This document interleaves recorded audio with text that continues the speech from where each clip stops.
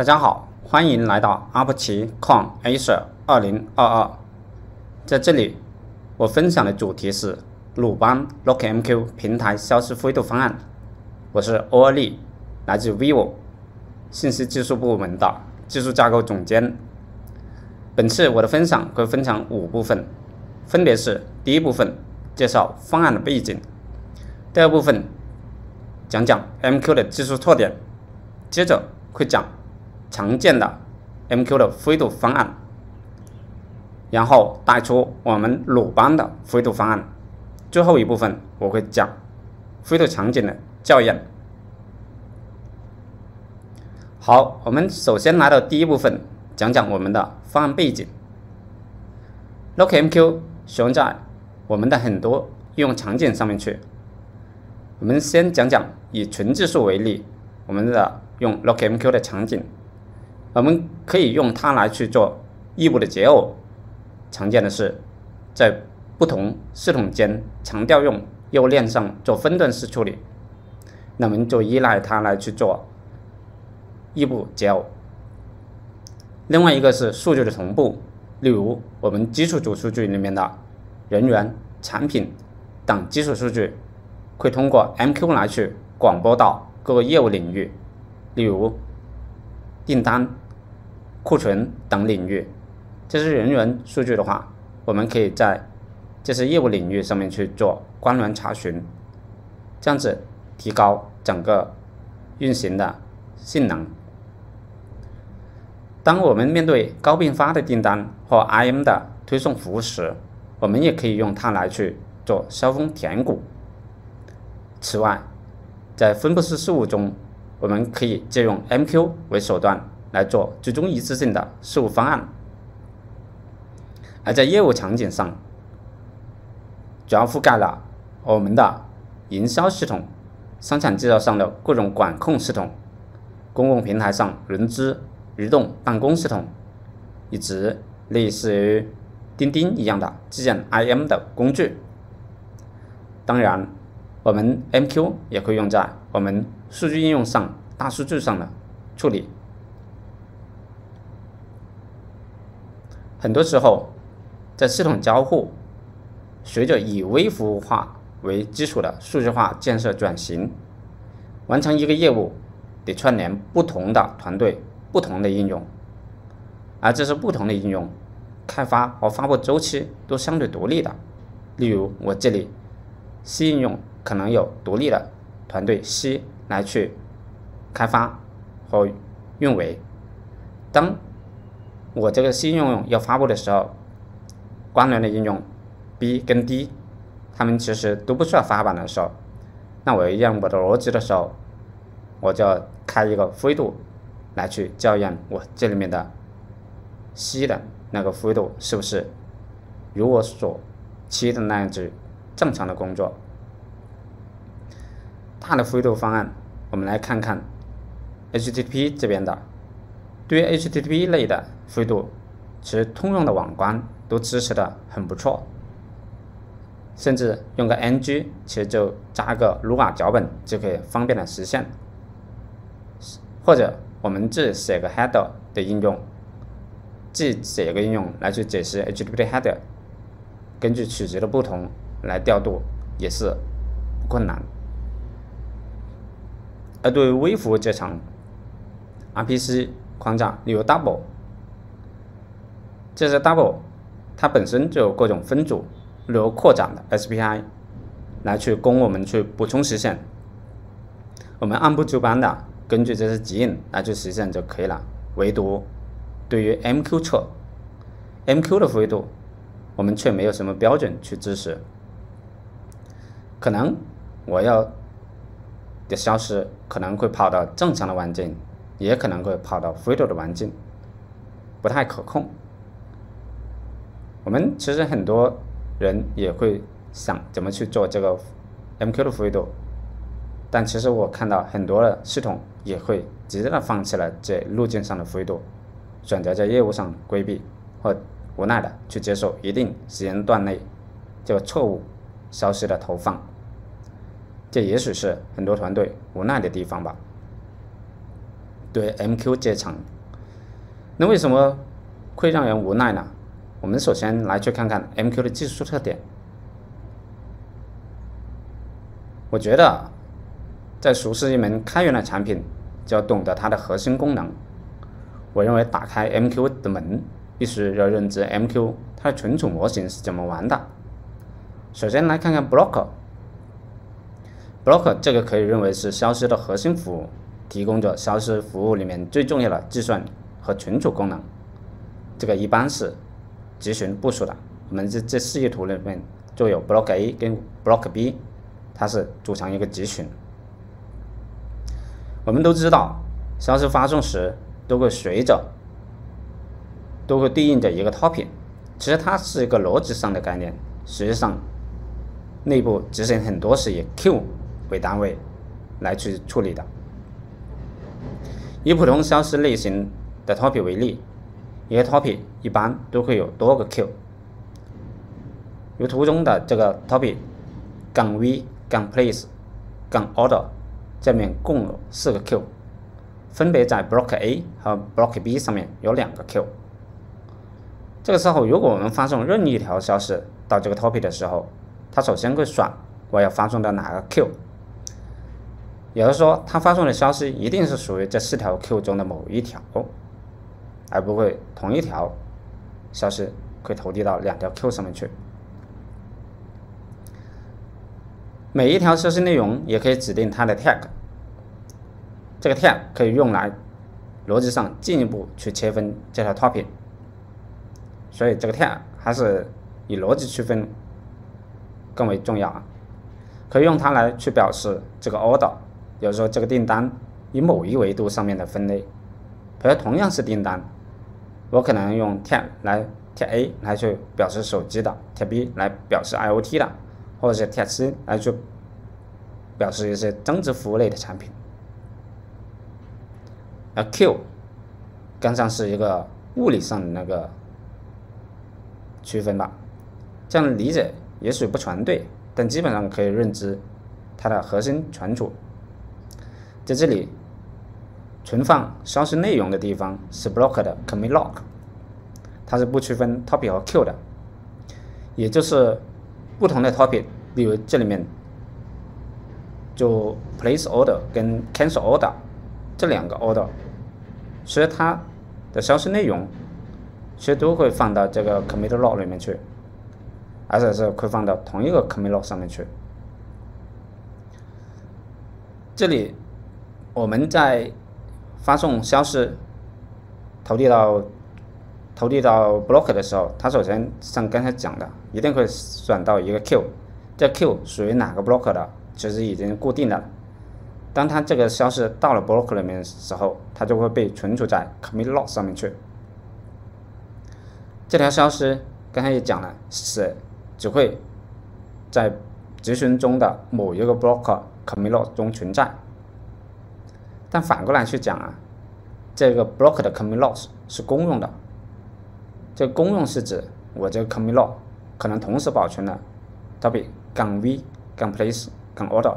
和 topic 杠 v 杠 cancel 杠 order 的内容。但这个 commit log 达到一定大小的时候，这个系统 block 会新建一个 commit log 来存储和接收新的那个消息。这 commit log 一般是以 G 的情况下就会建一个新的文件来去接收存储。那么这里还有一个文件，是用来记录这 Q 与 commit log 存储的消息之间的位置映射的，也就是这个文件可以知道，让我们知道这条消息从这这个 Q 里面可以知道这条消息放在了哪个 commit log 的哪个位置上。关于存储的位置，还有几个很重要的概念，例如。这个 mini offset 和 max offset 这两个看英文我们就很容易理解，就是消费，就就是消息里面的最小和最大位移了。而这个 consumer offset，我在这里先提一下消费主 group ID 的概念，我在下一页再仔细分析它。每一个不同的 group ID 在消费时，都会在 block 上记录它在 topic 的 Q 消费位移的 consumer offset。有时候这 consumer offset 是对应的 group ID 的概念的，它对应着不同的消费组。每个消费组可能对于同一个 topic 来说，它可能有不同的那个 consumer offset。我们再来看看生产者和消费者对 MQ，无论是生产者还是消费者，都使用一个 group ID 来表示交互的角色。其实对于生产者，当前的 group ID 也不太大，但对于这个消费者，我们得必须熟练掌握它的不一样。在集群消费，在集群消费的情况下，同一个使用同一个 group ID，如这个 GID 杠 V 杠 Eventually 的两个 client，是可以做 Q 的消费订阅的分配的。这里面一般会评分，其实我们可以看到，client ID 零零一跟 client ID 零零二，它是平分了这个 order 这条 topic。但对应 payment 这个消费组来说，因为它这个消费组里面就只有零零三这个实例，那它会自己会独立的去订阅所有的那个，就独立的来去接收所有的 Q 的那个消息，而独立的去处理。它和这个，比如说这个 payment 跟这个 evently 他们是互相不干扰的。但互相不干扰的话，也会各自记各自的那个消费位点 （consumer offset）。这里面刚才也提了一下 client ID 概念，我们可以简单的认为不同的 local MQ 生产者与消费者的应用实例，这些实例都有一个独立的 client ID，这 client ID 一般跟 IP 跟进程号有关联。这里面其实主要是。标示每一个跟 broker 打交道的生产者也好，消费者也好，他的那个身份 ID。再说一下消费提交的事情，这里图中都是以 topic 中的某一个 Q 来说明的。如果一个消费实例对应处理这个 Q，在提交消费位点的时候。只能提交消费位点前都完成了消费消息位移，怎么去讲呢？在这里我们看第三条、第四条，这个消息标志成灰色的，也就是说它已经被消费现场处理完了。但第二条消息还是蓝色的，也就是说它还在处理中。所以当我完成第三条、第四条触发到这个提交位移点的时候。它实际上提交的位移点其实就是第一条，比如说它真正能提交的就是说，这个位移点之前所有的消息都被完整的去消费完毕了，那我才会提交这个消费位点。比如说这里第三、第四条消费完毕了，实际上提交的是第一这个消费位点。但如果是我这个第二条消息消费完毕了。那它也会触发这个消费位点的那个提交，这个时候，它触发的提提交，或者是它实际上提交的消费位点，会去到第四这条消息这个消费位点。前两页也不同程度提到了这 group ID，不同的 group ID 是绝缘的，同一个 group ID 呢，却是相互影响的。订阅关系主要是指。标志着当前应用实例的 group ID 订阅了哪些 topic，当然也可以细化到订阅了这是 topic 的哪些 tag。在这个订阅关系是是每一个应用实例都会随着它的心跳包一起发送到 block 上的，在 block 上也是以这个 group ID 为 key 来存储这个订阅关系的。也就是说，group 上面有一个存储模型。来专门存放这个订阅关系，这个订阅关系你可以认为存储的地方像是一个 map 一样，它以这个 group ID 为 key，然后这个各个心跳包里面的订阅关系就是它的 value，但因为其实我们讲刚才是以 mail 为为存储结构的，那其实同一个 key 的话，它其实会相互覆盖的。当然，其实每个消费实例都会单独的发它的心跳包了。刚才也讲了，就是说这里面订阅关系在 block 中是以 group ID 为 key 来订阅的，来来存储的，来存储啊。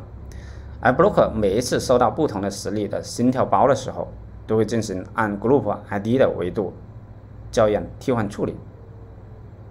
也就是同一个 group ID 订阅关系会被互相替换。如果使用同一个 group ID 在不同的那个应用实例上，只要订阅的那个 topic 和 tag 有任何一点不统一，那后面来的那个心跳包，这样的人就会覆盖或剔除以以前的那个订阅关系。也就是说，最后来的那个心跳包的订阅关系，你我我们可以认为它是，这就是。存储在 block 上面的订阅关系，无论是之前那个心跳包它订阅关系怎么样子的，都给清理掉了。我会用新的那个心跳包的订阅关系来去当做我整个 group ID 的订阅关系。这里面订阅关系要认清楚，因为其实我们的 block 推送或者是拉消息的时候，都是按 block 呃都是按这个 group ID 来去进行处理的。不然的话，如果我们没有处理好这个订阅关系，很多莫名其妙的问题就会产生。如果我们用同一个 group ID 在不同的应用实例中，而这些实例因版本原因订阅的 topic 和 tag 有变化的时候，而两组实例共存使用一个 group ID 的时候，他们是互相干扰的。干扰的结果是，有时候收不到消息，有时候。收到错误的消息，其实这里面的订阅关系是影响 MQ 做灰度方案非常非常重要的一个因素。我们来看看一个例子：同一个消费组 GID 杠 V 杠 Inventory，在不同的消费实例里面的订阅关系，和在 Client ID 零零一这个实例里面订阅的 Topic A，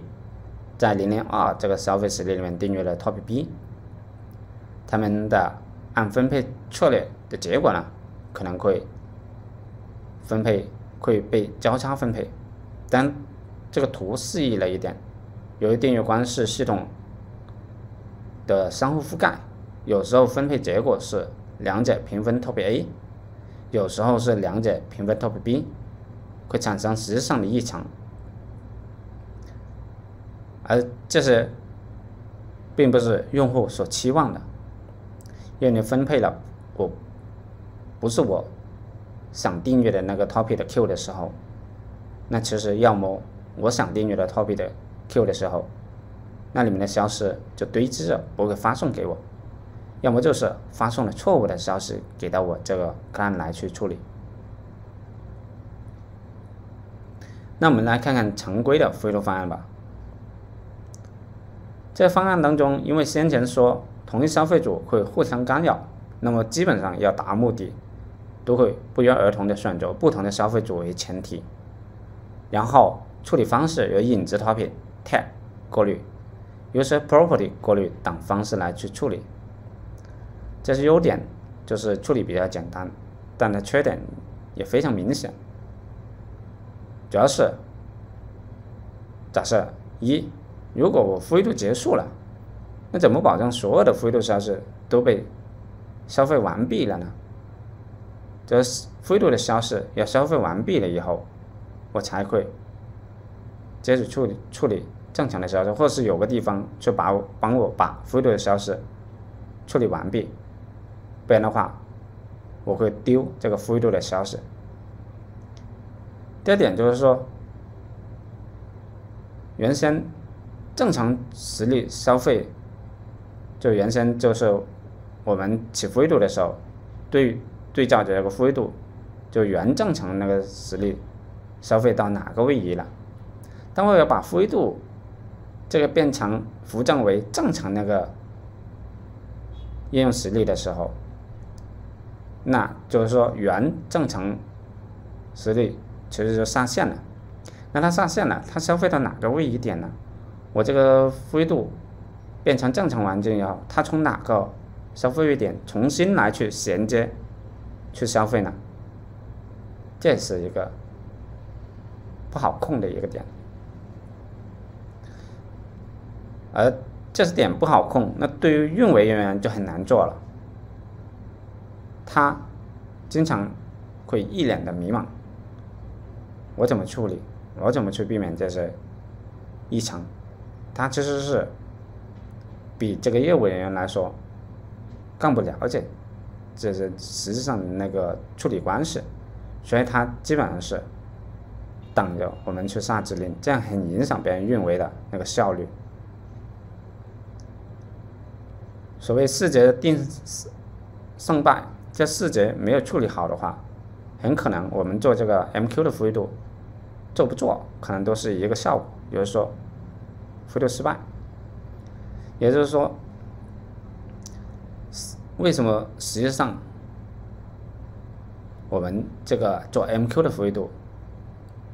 在业界是比较困难的一件事情？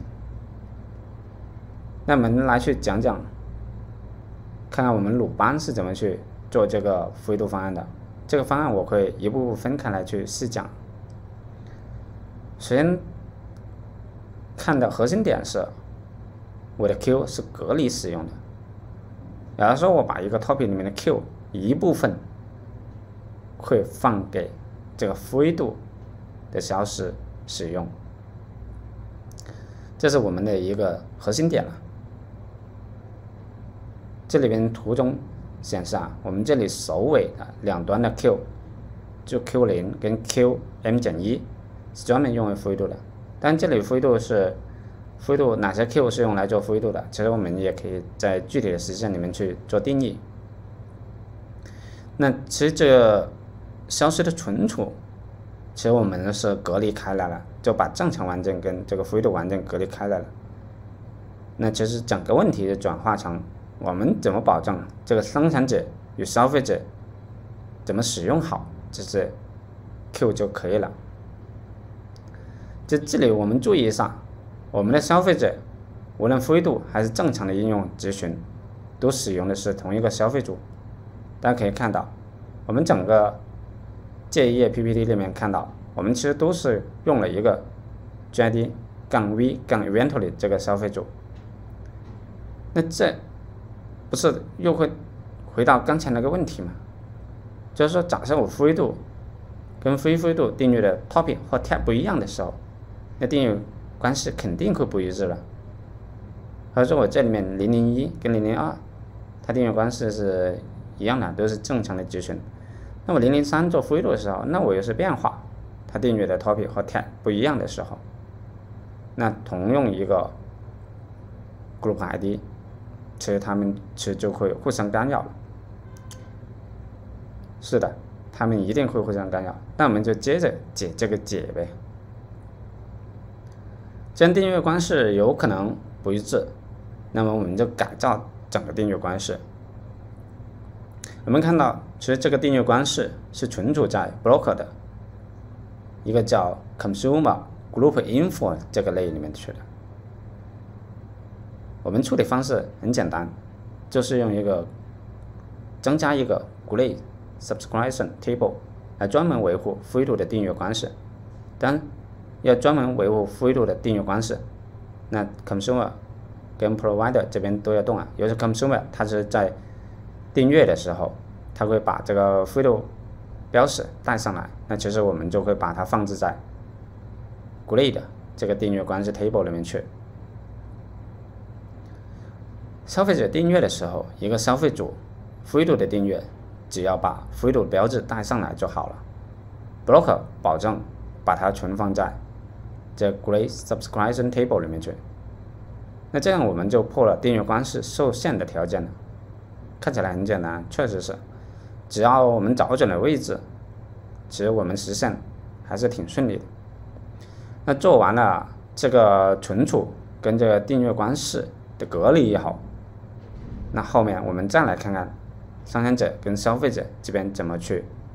看这些 Q。先说说生产者这里边啊，首先发送者必须知道他要发送的目标特别是否有这个灰度消费者，再判断当前的消息是否属于灰度范围，把灰度消息投递到灰度的 Q 就可以了。当然，在在这里面的那个灰度范围的判断规则，这个很好管理啊，在这里面都比较容易实现，我们不在这里展开讨论。这里面。另外一点就是判断这个目标 topic 是否有这个灰度消息，灰灰度消费者，那其实我们会有通常的一个状态维护机制来去处理。那等一下我讲这个内设备的时候，其实我们再带出这这个内容。我们再看消费者吧，看完生产者以后，我们看消费者。消费者要做的正确的事情就是同一个消费组。既有这个正常与灰度集群时，正常集群只平分正常的 Q 就可以了。就像这里面零零一跟零零二这个正常的那个集群，它这两者就分配正常的 Q 就可以了。零零三、零零四是属于灰度的那个集群，那虽然在同一个 group ID 上面，那它其实只会分配灰度的那个 Q。比如说，consumer 这边，它处理好我这个正常的那个环境跟灰度环境各自只管拉取自己的那个 Q 就可以了。那这里面扩展来去再说两点了。第一点就是说，如果我本消费组，比如说我这个 event 里里面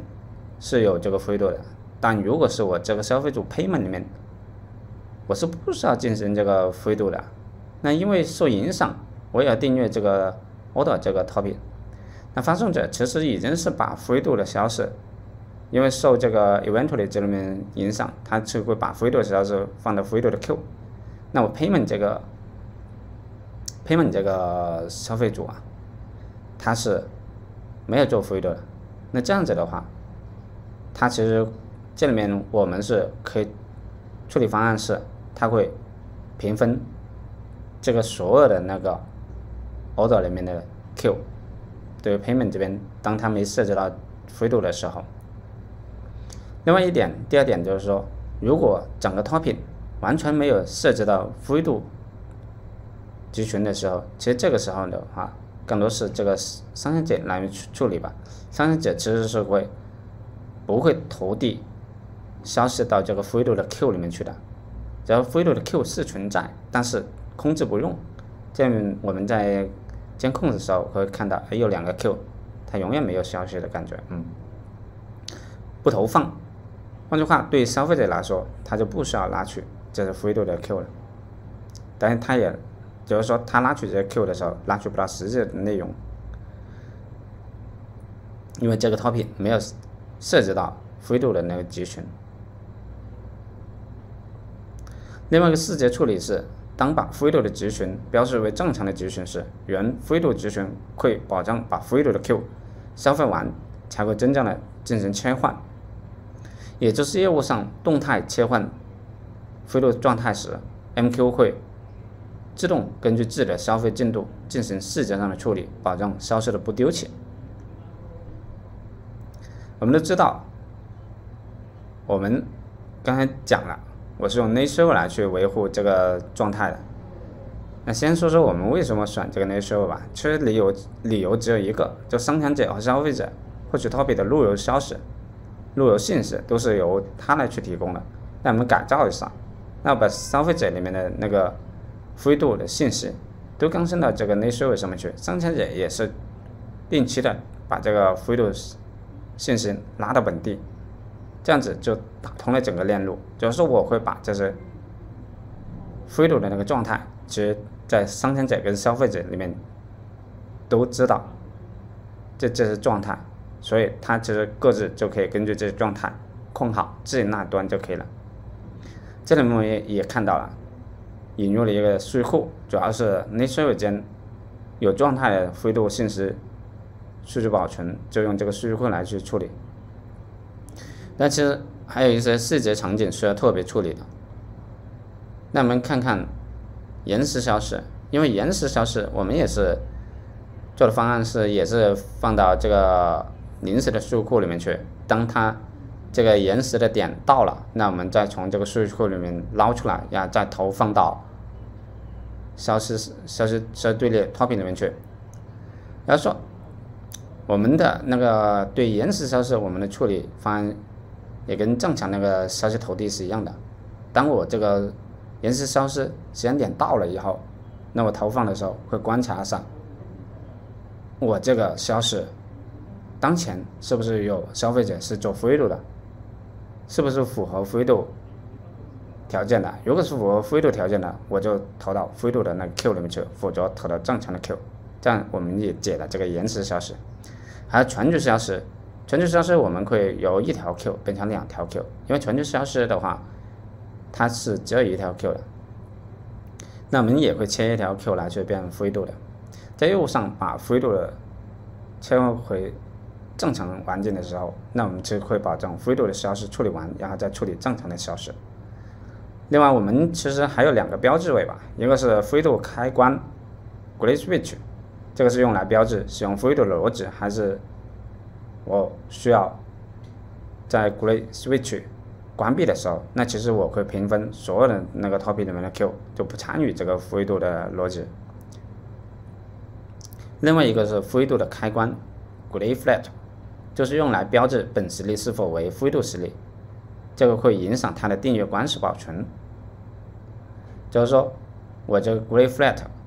如果说我本实例是灰度的话，打错的话，那其实我订阅关系的时候，其实会放到这个灰度的那个 great Table 上面去。great Flat 这个参数会受这个 great Switch 影响，就 great Switch 其实会这个开关会更大一点，嗯，然后在失控的时候会来到这个 great Flat 上面去控。实践是检验真理的唯一标准吧？我们也做了详细的灰度功能校验，具体的场景校验，我只是在这里提一下，不细说。大家如果要看的话，就看整个过程的话，可以看这二维码里面的内容。这里我们做了五个实验，第一个是 topic 和 tag 不变的灰度，其实就是处理逻辑变了，但订阅关系没变。另外就是 topic 的增加与减少的场景，还有就是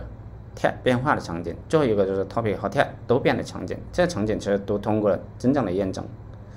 总的来去讲的话，这个灰度方案解决了我们系统实际的问题。大家如果有确实的那个其他的场景的话，其实也可以按照这个思路来去继续演进。这里主要的那个思路就是说，我把 Q 隔离来去使用，把 Group ID 的订阅关系隔离来去存放，这两者互不干扰，那其他就是。顺着这个思路来去解 consumer 跟 production 的那个问题，我希望这次分享能帮助到大家，谢谢大家。